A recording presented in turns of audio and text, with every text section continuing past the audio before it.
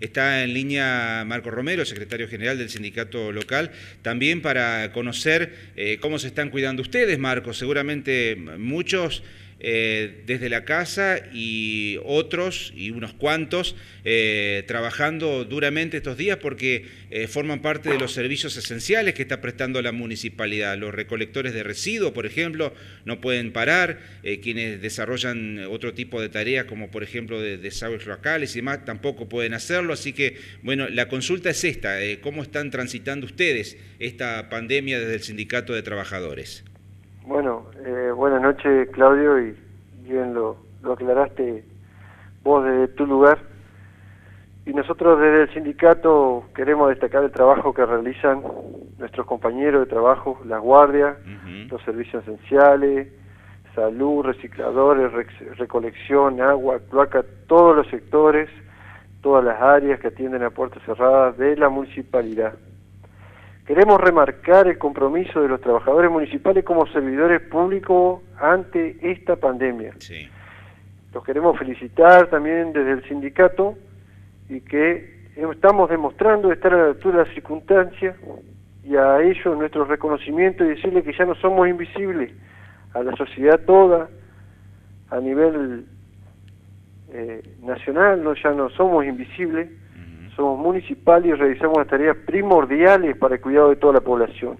Que se entienda bien eso es importante para nosotros y que sea un mensaje para revalorizar la labor de los trabajadores, que muchas veces hemos sido desprestigiados y por eso yo creo que hoy eso tiene que llegar a su fin, que no seamos más desprestigiados y que vea la sociedad toda que estamos poniendo en riesgo la integridad física, por la comunidad.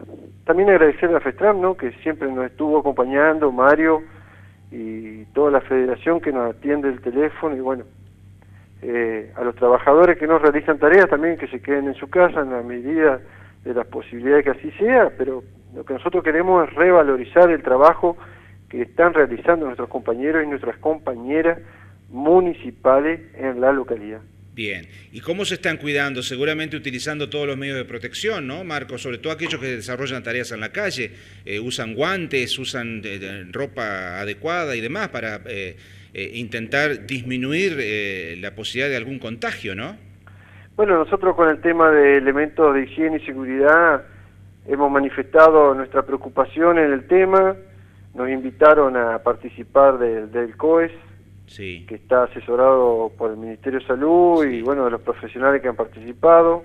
Yo no pude estar en la primera reunión, pero muchos integrantes de la comisión sí estuvieron, despejamos las dudas, nos referimos a la distancia que, pedíamos nosotros en los controles, de dos metros, un metro y medio, que debe permanecer entre el que realiza el control y, y el, el peatón, el que está en el vehículo, y bueno, nos comunicaron que todas las medidas que nosotros hemos planteado se van implementando, así que nosotros estamos tranquilos, eh, todas las medidas de seguridad e higiene le han hecho llegar, por ahí faltó en algunas cuestiones y lo hemos planteado en, reuniones y bueno, estamos viendo que, se cumplan y que alguien controle esos protocolos, digamos, que era la inquietud que nosotros teníamos. Y bueno, después se dieron diferencias con el barbijo, con con guantes y todo eso, pero ellos están asesorados por el, por el COES, que me parece sumamente importante, que se, también se convoca al sindicato, así que nosotros estamos tranquilos con eso y la municipalidad ha tomado las medidas que, que realmente los profesionales le han dicho, mucho más allá de, de cuestiones que por ahí uno puede plantear para por, un, por una forma u otra, pero están los profesionales para para llevar tranquilidad a los trabajadores municipales. Bien, perfecto. Marcos, eh, quienes trabajan en la calle eh, salen por turnos, trabajan habitualmente como lo hacían siempre o, se han organizado de otra manera en este tiempo de cuarentena? Y se mantuvieron guardias, guardias, y bueno, y después estuvo trabajando en la recolección, en su, su, habitual recorrido, y bueno, son casos puntuales, así que la municipalidad ha estado eh, eh, derivando a los trabajadores que estaban en riesgo. Eh, como primer medida se tomó aislar a los trabajadores que estaban en riesgo y después complementarlo con lo que es guardia y los servicios esenciales. Hay gente de salud y bueno, eh, hay áreas que están trabajando a puerta cerrada también de la municipalidad. Bien, última consulta, Marco, tiene que ver con lo salarial. Hubo una reunión esta semana en el despacho del presidente municipal, tengo entendido, ¿no? Esto fue el día miércoles, si no me equivoco. Sí, sí, mantuvimos una última reunión, luego de mantener varias reuniones, y bueno, la discusión era el tema de las paritarias, sí. y primero quiero aclarar sobre todo que esto sería una situación excepcional o extraordinaria.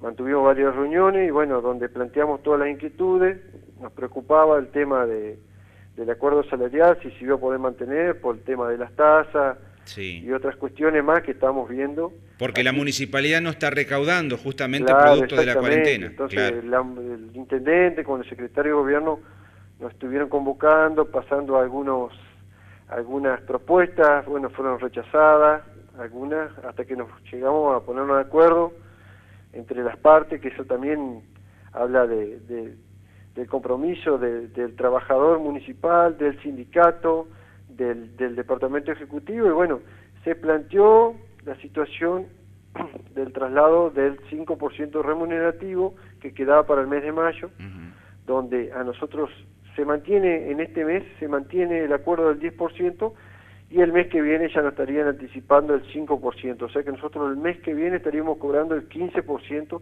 se estaría adelantando, lo único que quedaría para plantear en, a futuro, en julio, cuando nos volvamos a enterar, el traslado de ese 5% del sueldo básico, más el 5% que ya quedaría en julio, ¿no? Así que bueno, esa más o menos sería la idea, y bueno, el compromiso del intendente de pasar el sueldo básico y que nos remarcó que, que siempre estuvieron en la altura de las circunstancias y siempre cumplieron con los compromisos con el sindicato.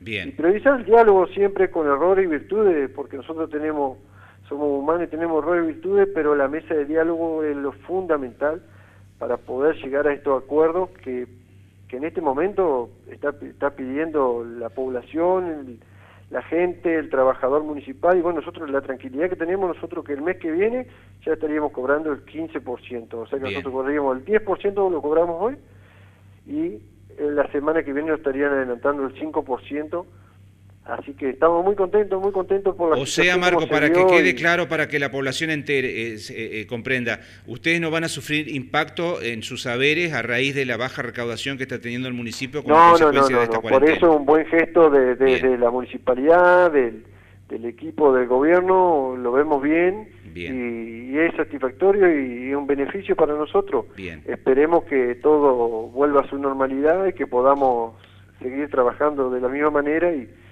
y bueno, a la comunidad le agradecemos mucho por, por estar al tanto de todo y siempre acompañarnos en, en todo lo que nosotros realizamos. Un abrazo, mi amigo, y a cuidarse, ¿eh? a quedarse en casa también. Sí, sí, sí. Muchas gracias. Gracias, gracias. Saludos. El secretario general del Sindicato de Trabajadores Municipales también.